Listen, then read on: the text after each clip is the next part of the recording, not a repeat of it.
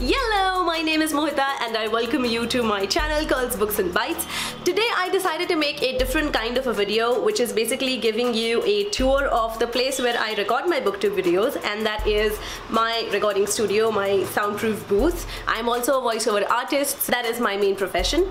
And I'm also a Japanese translator that aside. So anyway without further ado I'm just gonna give you a small tour of my sound recording studio which is in my house inside my bedroom in fact. And by the way this idea came from Helly who actually suggested that I do a house tour which I do which I will in a few days. Um, if you haven't already checked out Helly's channel she is an amazing Indian booktuber. I will uh, leave the link down below and definitely definitely visit her channel. She has a well of knowledge that is pretty impressive and she's also so genuine in all her videos that makes her such a delight to watch. Alright, so let's proceed with my studio tour. Okay, so this is what my studio looks like from outside. So you see the wall right here. This is where my studio ends and this is a wardrobe. So, hey, hello. Okay, now let's enter my office. And this is a charm that we picked from Japan when we went in uh, 2016. This is a prosperity charm and I couldn't think of a better place to put this in. And welcome to my little space. My own personal haven of... Uh, okay, I'm gonna stop right now. I'm just gonna give you a quick scan. So as you can see, I have like a fan and an AC both. Um, usually the, the weather in Pune is pretty pleasant, so a fan suffices, but it makes a lot of noise, so I can't use it while I'm recording.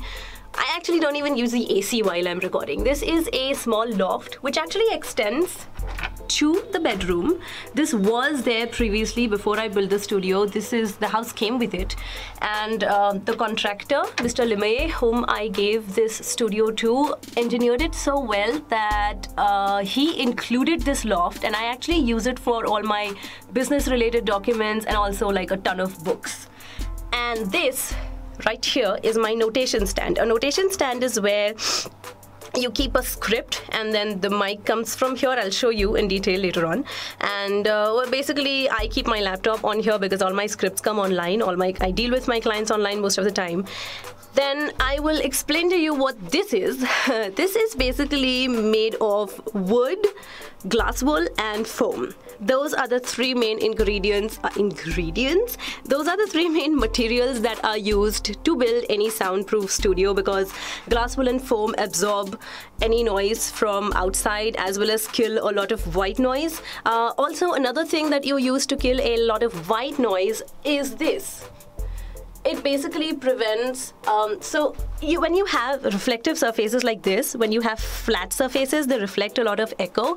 And when you have too much open flat surfaces then that just increases um, a risk of echo in your recordings which is certainly not good. So in order to avoid that I have also covered my desk. This is like a pull open pull out desk whatever you call it.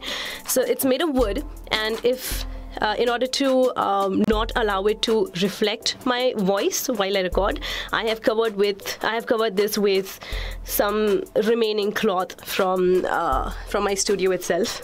So this sort of softens and reduces the harshness of any voice that reflects from a surface, which is useful. And this is my mic. I use a dynamic mic. This is a filter that you use for the mic. This is the actual body of the mic inside. And this pop filter is used to eliminate any pops and air blows that may seep into your recordings my uh, so I'll just give you a brief account of what my equipment is like. This is called a sound card which actually connects my analog microphone to my laptop and it converts all my analog files into digital files and that way I get to process my recordings. Uh, really i may sound intelligent but it's really simple and i'm not doing anything i'm just explaining something very very basic here um, so this is my sound card these are the headphones that I use. They are of Superlux. Uh, if I don't want to use headphones at times, I will also use my JBL speaker, which is pretty good.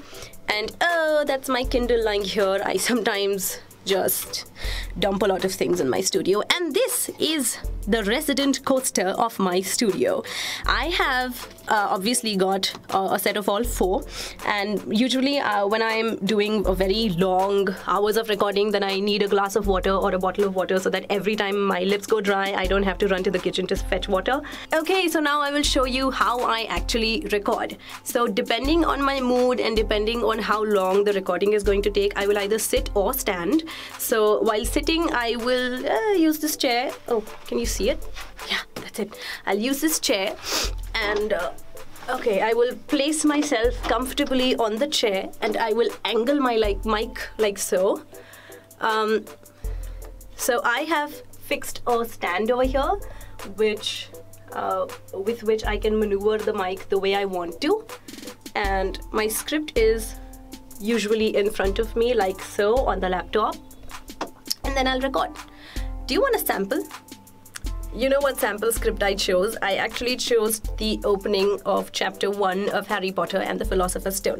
So this is how I'll normally do it. Now it's really awkward because I'm holding the camera in one hand and it's kind of difficult. And please do not go by my today's voice. It is terribly nasal and horrible and I know that.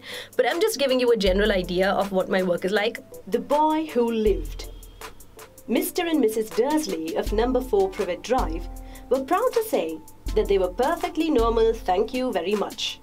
They were the last people you'd expect to be involved in anything strange or mysterious, because they just didn't hold with such nonsense.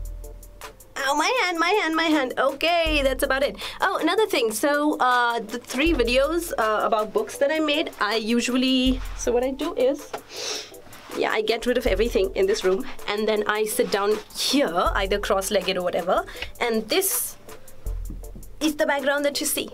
So I normally leave this door open so that the natural light from the window opposite uh, lights up this room and uh, the video generally looks better visually. And this this veneer really gives I like this background actually. Although I would much rather have a bookshelf which I hopefully will build in the near future because I'm actually my collection of books is increasing day by day. So I really need a good place where I can store the books nicely and display them nicely. So that's it that was my little studio tour for you. And um, if you have liked this video, then definitely give me a thumbs up. And uh, if you want to follow me on Instagram, then I will leave the handle, I will leave the link of Instagram below in the description box as well.